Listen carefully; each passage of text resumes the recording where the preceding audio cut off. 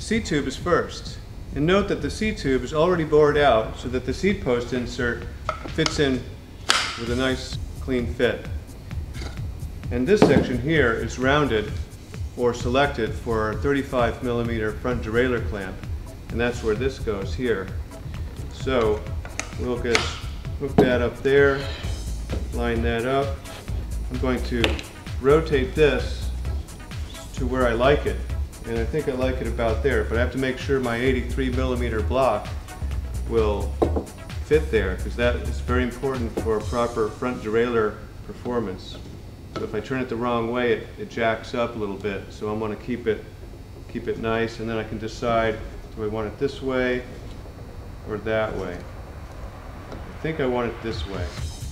Have that curve, the same curve as the tire.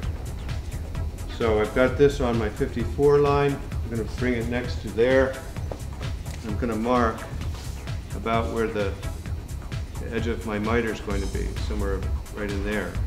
And I'm also going to mark the axis of the bottom bracket right here, like this.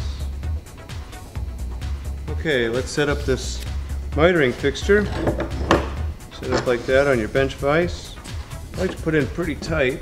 Mm and then it'll go in better. I need to get my hole saw and put the bamboo in there.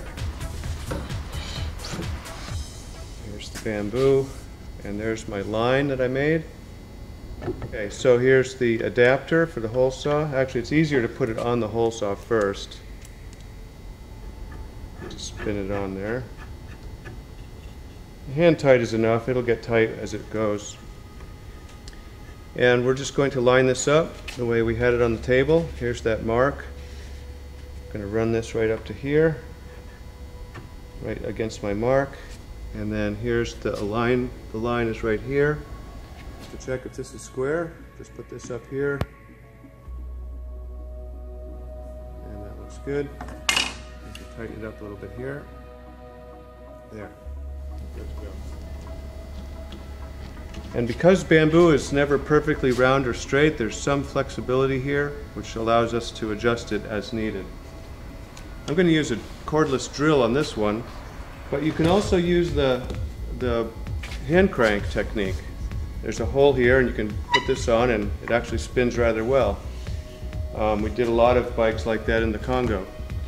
But since we're here in the United States, we'll just use a very commonly available 18 volt cordless drill. Put it in the right direction here, and I like to hold it with one hand while I miter it. Okay, let's see how that looks. That looks about right.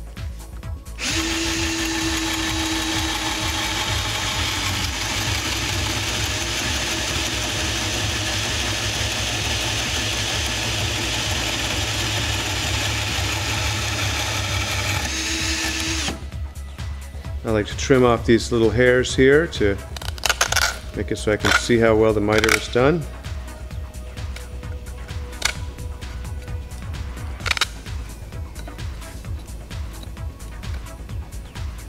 Perfect. Let's see, I want it this way.